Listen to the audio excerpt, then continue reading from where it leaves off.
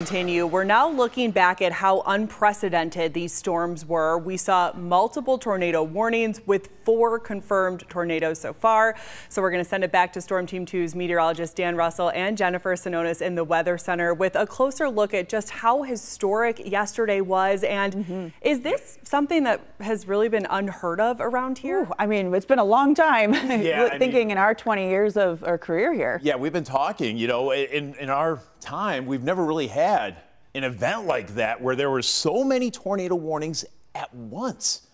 I mean, that was that was remarkable at times. One or two other times, but the yep. fact that we had the remnants of a hurricane too, yes, just bringing that soupy air mass and allowing for those favorable conditions for these spin ups, that was something that was very unique to our our local area. Yep, and it wasn't just here in Western mm -hmm. New York, as you can see. So yeah. every single one of these icons here these are storm reports, whether it's a, a wind damage report, mm -hmm. a lot of flooding. Boy, in the Adirondacks, areas of northern New York, uh, we have funnel cloud reports, and of course, we also have the confirmed several tornado reports across yes. our state. Yes. So this was an outbreak. We had yep. a severe weather outbreak across our state, and it started several days ago, even yes. as we saw uh, the remnants continue yep. to push across our nation. And it really it started, mm -hmm. as you said, when Beryl made landfall in mm-hmm. Texas. Mm -hmm. Louisiana was the the part of the, the I think the the storm that really saw the tornadic portion of that right. event. And then it shifted more it into way. the Ohio Valley on Tuesday. And then, Over of course, us. it was over New York yesterday. Right. And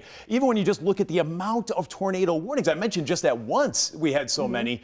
Uh, there was we had more tornado warnings across the state yesterday than ever before, going back records almost 19, 40 years. Yeah, to the 80s, 1980s, so. and even just us covering for several hours um, yesterday. I mean, even the fact that we were tracking that supercell thunderstorm that dropped there it was. four tornadoes across our area in just a matter of an hour and a half, and we were covering it for several hours, and there were, I mean, more than a dozen tornado warnings for our area yeah. in just a few hours yesterday. It, It is definitely unprecedented. The way that storm was able to hold its structure yes. too during that, that whole event, and and ultimately kind of skipping right. there. And that's because that. we had those favorable conditions with that yep. wind shear and that instability in place, basically just south of Buffalo and out toward Batavia south, and that's where we got that activity.